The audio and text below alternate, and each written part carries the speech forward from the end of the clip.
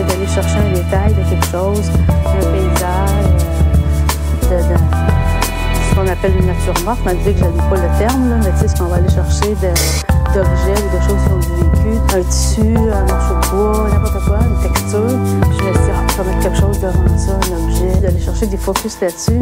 Moi, je trouve que c'est super intéressant.